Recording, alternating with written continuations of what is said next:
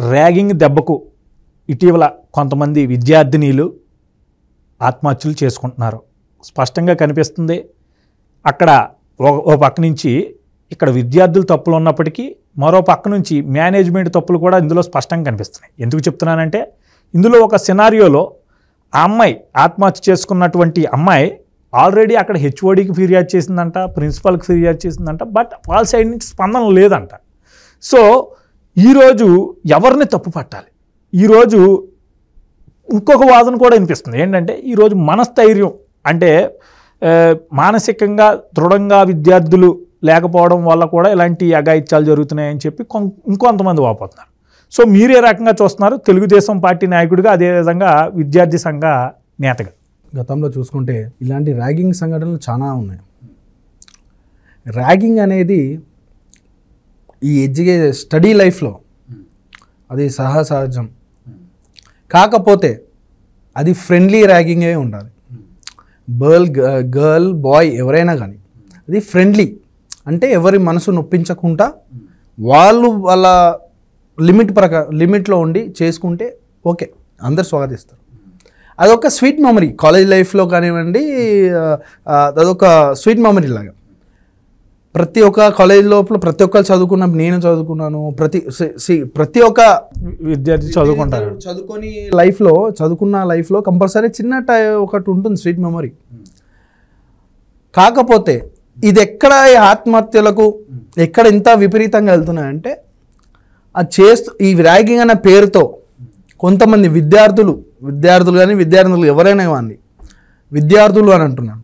విద్యార్థులు డబ్బు బలంతో పొలిటికల్ బ్యాక్గ్రౌండ్తో ఎవరైతే ఉన్నారో వాళ్ళు ఈ మితిమీరిన అగత్యాలకి పాల్పడుతున్నారు. అహంకారంతో ఒళ్ళు బలుపుతో. నేను ఎందుకు ఇట్లా మాట్లాడుతున్నానంటే ఇట్లాంటి వ్యక్తులు ఎలా ఉంటూ ఉంటాయి అంటే వాళ్ళకి ఏంటి డబ్బు అహంకారము ఆ మైండ్ సెట్లో ఉంటారు వాళ్ళు. నేను చెప్పిందే వేదం చెప్పిందే చేయాలా వాడెంత వాడి క్యాస్ట్ ఫీలింగ్తోని ఇట్లాంటి సంఘటన వాడు వచ్చి ఒక సైకో ఒక ఒళ్ళు బలుపుతోని ఇట్లా కాలేజ్లో హ్యాపీగా ఫ్రెండ్లీ ఉన్న నేచర్ ఉన్న కాలేజీలో ఇట్లాంటి వాళ్ళు వచ్చి అక్కడ డివైడ్ అండ్ రూల్. పెత్తందారి పట్నం అంటారు కదా ఆ విధంగా వాళ్ళు చేయడం వల్ల ఇట్లాంటి సంఘటనలు జరుగుతున్నాయి. ఈ ప్రీతి కేసులో చూసుకుంటే ప్రీతికి ఎప్పుడైతే ఇవి సంఘటన ర్యాగింగ్ వేధింపులు జరుగుతున్నాయో అప్పుడే హెచ్ఓడికి చెప్పింది. చెప్పినప్పుడు అప్పుడే వీళ్ళు మేనేజ్మెంట్ దాన్ని కంప్లైంట్ స్వీకరించి సరైన యాక్షన్ అదే టైంలో తీసుకొని ఉంటే ఇలాంటి పరిస్థితి ఉండేది కాదు. మరి ఎందుకు తీసుకోలేదు? అంటే రాజకీయ పలుకుబడి వ్యక్తి వలన నన్నేమైనా చేస్తాడు అనా? లేకపోతే ఇతను కూడా దానికి స్వాగతిస్తున్నాడా? ఆ కోణంలో చూడాలి మనం. అండ్ కమింగ్ టు ప్రీతి అమ్మాయి తరఫున చూస్తే అమ్మాయి చనిపోవడం చాలా బాధాకరం. కని పెంచిన తల్లిదండ్రులని ఇప్పుడు వాళ్ళొక చెప్పలేని బాధలు ఉన్నారు. నేను విద్యార్థులకు ఒకటే చెప్తున్నా. మీకు అలాంటివి జరిగినప్పుడు మనం తెలంగాణ గడ్డల మీద పుట్టినాం. తెచ్చు పోరాడి తెచ్చుకున్న తెలంగాణ మనది. పోరాట స్ఫృతి ఆ పట్టుదలతో మనం తెచ్చుకున్నాం. సో మనం పోరాడాలా? మెంటల్ ఫిజికల్లీ మనం స్ట్రాంగ్ ఉండాలా? ఎక్కడైతే మనకి జరుగుతుందో అప్పుడే నిలదీయాలా? ఒకవేళ కాలేజ్ మేనేజ్మెంట్లో వాళ్ళు రెస్పాండ్ ఇవ్వకపోతే ఇమ్మీడియట్గా నియర్ బై పోలీస్ స్టేషన్లో కంప్లైంట్ ఇవ్వాలా? నియర్ బై పోలీస్ స్టేషన్లో కూడా మీకు రెస్పాన్స్ రాలేదు. ఎందుకంటే వాళ్ళు పొలిటికల్ బ్యాక్గ్రౌండ్ ఉన్న బాగా ఉన్నాడు అని అనుకుంటే రండి. విద్యార్థి సంఘాలు ఉన్నాయి పెద్ద మహిళా సంఘాలు ఉన్నాయి లేకపోతే ఆల్ పార్టీస్ అందరూ కూడా దాన్ని మేము ఖండిస్తాం దాని మీద.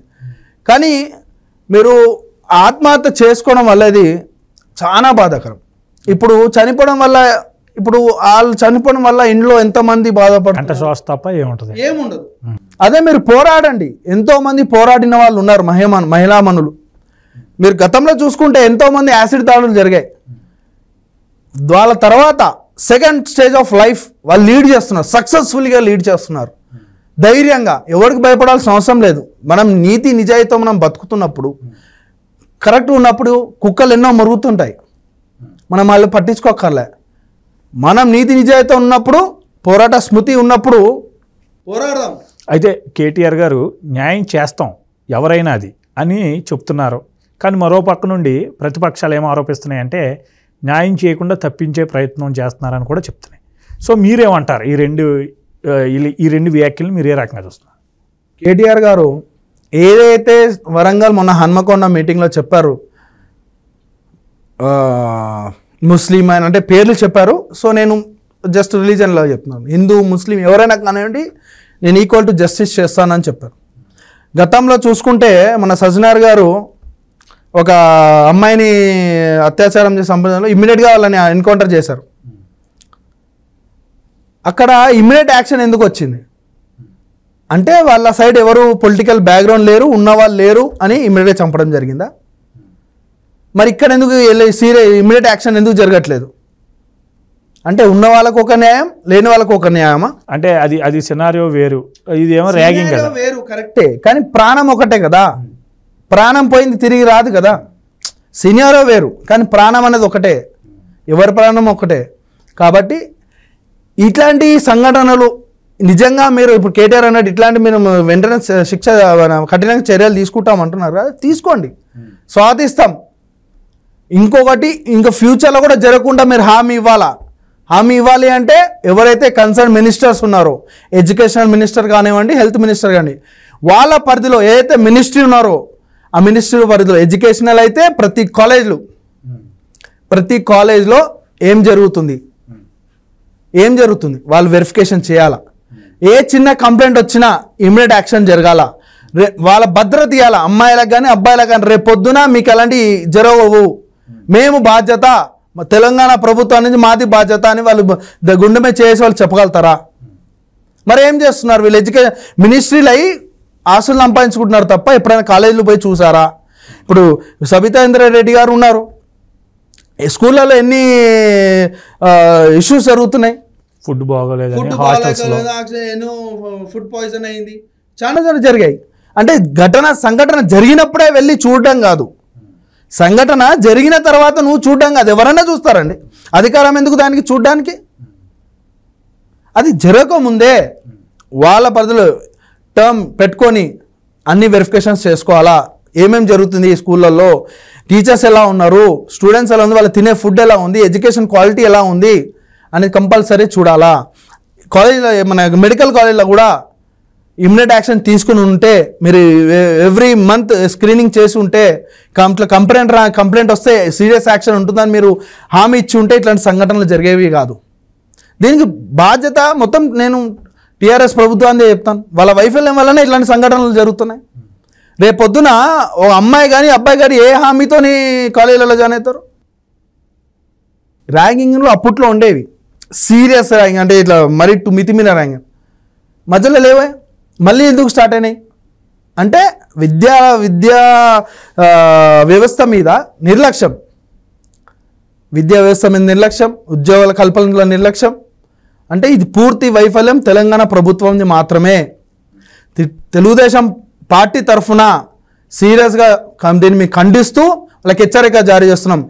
వెంటనే ప్రీతి హత్య ఏదైతే జ- నిందితుడు ఎవరు ఉన్నారో చనిపోవడం కానీ ఎవరు కఠినంగా శిక్షించాలా?